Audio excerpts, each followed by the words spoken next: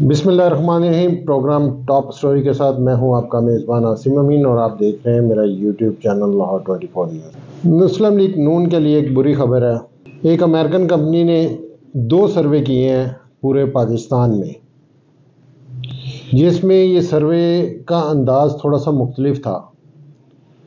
और सर्वे में ये कहा गया है, पहले तो होता था ना, सर्वे होते थे, जी आप किसको वोट देंगे, नून लीग को देंगे या पीटीआई को देंगे?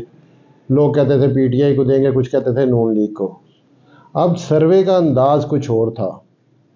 इस बार उन्होंने ये कहा कि अगर पीटीआई के तमाम लीडरान को हम नून लीग में शमूलियत समझे कि हो गई, उनको हम नून लीग की टिकट देते हैं, फिर आप किसको वोट डालेंगे?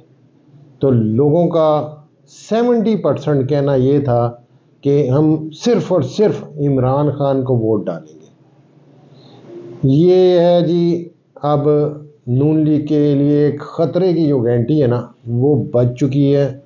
नवाज़ शरीफ साहब जो उनसे है, वो परेशान है।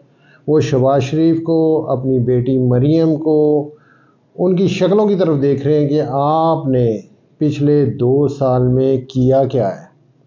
मैं जो चीज़ आपको समझाता था, ना करो, ना जाओ आप वजारतों की तरफ़ ना लो आप सीटें, आपने मेरी एक नहीं सुनी।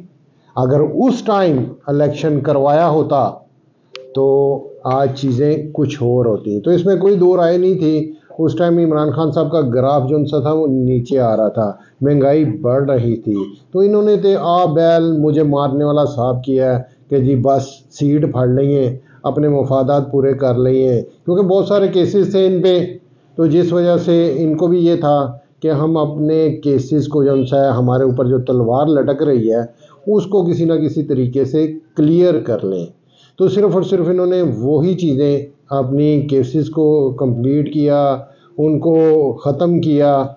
उन्होंने ये नहीं देखा कि पब्लिक के साथ क्या हो रहा है पब्लिक पे जो जुल्म सितम इन दो सालों में हुए महँगाई अरूज पे चली गई। गरीब आदमी को छोटी छोटी ज़रूरियात की जो चीज़ें थी, उसको, उसकी पहुँच से दूर होती चली गई। तो फिर आखिरकार यही कुछ होना था कि इतना बड़ा सर्वे हुआ है और अब तमाम नून लीग जो है, वो सर पकड़ के बैठ चुकी है। जी, ये थी आज की हमारी टॉप स्टोरी कल एक नए टॉपिक के साथ आपकी खिदमत में हाजिर होंगे अपने मेज़बान को इजाज़त दीजिए। अल्लाह के बाद